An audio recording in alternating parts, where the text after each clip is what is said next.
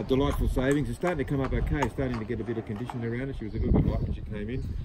Um, got a little bit of attitude about her, but the action's quite nice and um, she's um, progressing slowly but surely. It's a bit of a learning curve for her, this preparation. She's still one preparation off, but uh, we'll get her to jump out stage and um, move on from there.